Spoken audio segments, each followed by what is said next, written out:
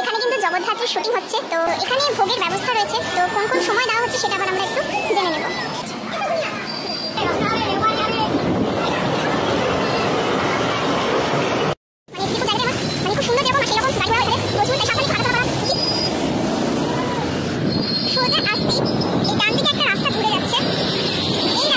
মানে মানে এখানে ঢুকতেই আমরা দেখতে পাচ্ছি পেট্রোল পাম্প রয়েছে। তো ডান দিকে ঘুরে এই যে ইন্ডিয়ান অয়েল পেট্রোল পাম্পটা পড়বে, এটারই সোজা সোজা যে রাস্তাটা চলে যাচ্ছে। সেই রাস্তা দিয়েই আমরা এখন সোজা হাঁটছি। তো আমরা পৌঁছেই গেছি সেই জগন্নাথ মন্দিরের সামনে। তো মন্দির কিন্তু তিনটে পর পর পড়বে, যেটা ফার্স্ট হচ্ছে মহাকালেশ্বর মন্দির, তারপরে হচ্ছে শিব মন্দির, আর তারপরেই হচ্ছে জগন্নাথ মন্দির। তো স্টেশন থেকে বেশিক্ষণের রাস্তা নয়, মাত্র পাঁচ থেকে সাত মিনিটের হাঁটার পর তো চলো এবার আমরা প্রবেশ করব ভেতরে। এই হচ্ছে মন্দিরের প্রধান দ্বার। বাঁদিকে রয়েছে জুতো রাখার ব্যবস্থা। জুতোর তো অনেকই রয়েছে রাখার জায়গা, কিন্তু সেই রকম সিকিউরিটিটা নেই যে জুতো চুরি হবে না এমন কিছু। রাখতে পারো। এছাড়া তোমাকে এমনি রাখতে হবে। টোকেন সিস্টেম বা টাকা পয়সা দ্বারা কোনো জুতো রাখার সেরকম কিন্তু কোনো সিস্টেম নেই।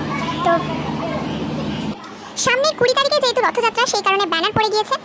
এবং মন্দিরে ঢুকেই ডান দিকে তোমরা জুতো খুলেও রয়েছে এবং তার পাশেই রয়েছে পানীয় জলের ব্যবস্থা।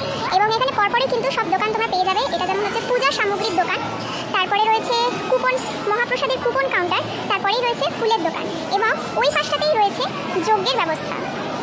এখানে কিন্তু ঠান্ডা জলেরও ব্যবস্থা আছে পুজোর টাইম সকাল আটটা থেকে বারোটা। আবার বিকাল চারটে থেকে নিয়ে একটা পুজো দিতে পারবে হ্যাঁ? হ্যাঁ মন্দির খুলে ছটা থেকে একটা চারটে থেকে নটা। কখন থেকে গিয়েছিল টাইমিং তো দিয়ে কেউ কিছু ফিক্স থাকে না টাইমিং করা থাকে সকাল থেকে কাজ শুরু বছর এই আছে আপনার ভবানীপুর নর্দন পার্ক কবে থেকে নর্দন পার্কে সেখানে আটজন মহাপ্রভু থাকবেন ওটা রথিনে আসবেন নাম দেবে দুপুরবেলা ভোগ খেতে একদিন আগে ফোন করে বলে দেবে কালকে আমরা দুজন খাব কি দশজন খাব হ্যাঁ বসে খেলে পার দেড়শো টাকা বাসন নিলে একশো আশি টাকা হ্যাঁ একদিন আগে ফোন করে নামটা লিখে দেবে। এখানে কিন্তু জগদ্ধাত্রীর শুটিং হচ্ছে তো জগদ্ধাত্রী জি বাংলা যে তোমরা দেখতে পাও সিরিয়ালটা সেই সিরিয়ালের শুটিং হচ্ছে তো তো আমরা যাই দেখি কি হচ্ছে। আচ্ছা, এখানে কিন্তু ভোগের ব্যবস্থা রয়েছে। এখানে প্রতিদিন বিকেলবেলা পাঁচটা থেকে সাড়ে ছটা পর্যন্ত বিনামূল্যে ভোগ দেওয়া হয়।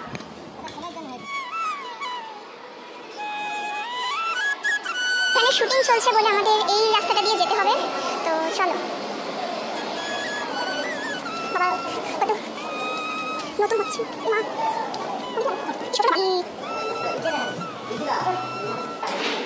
অবিকল পুরীর জগন্নাথ মন্দিরের আদলে গড়ে তোলা হয়েছে এই মন্দিরটি। পুরীর জগন্নাথ মন্দিরের অনুকরণে এই মন্দিরেরও সিংহদরজায় রয়েছে অরুণা স্তম্ভ।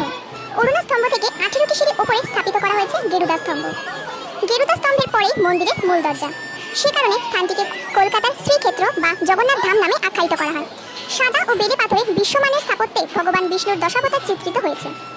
মন্দিরে চতুর্থ মূর্তি তৈরি করেছিলেন খুরদার পাথরের রাজমিস্ত্রি হাদু মহারানা। দু হাজার তিন খ্রিস্টাব্দে মূল মন্দিরে রত্নবেদিতে স্থাপন করা হয় মহাপ্রভু শ্রী জগন্নাথ, শ্রী বলভদ্র এবং দেবী সুভদ্রার বিগ্রহ। মূল মন্দিরের চারপাশে খোদাই করা হয়েছে শ্রী গণেশ, দেবী সরস্বতী, মহাবীর হনুমান, সূর্যনারায়ণ, মা বিমলা, মা লক্ষ্মী এবং ভগবানের শিবমূর্তি।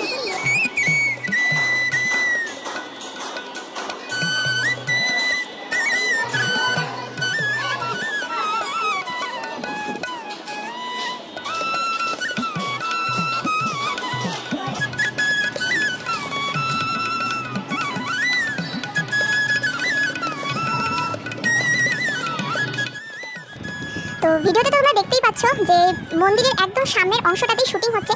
সেই কারণে আমরা পেছনের দরজা দিয়ে ঢুকতে হয়েছে, অর্থাৎ সাইডের যে দুটো দরজা রয়েছে, সেখান থেকেই সাধারণ মানুষেরা বিগ্রহ দর্শন করতে পারছে।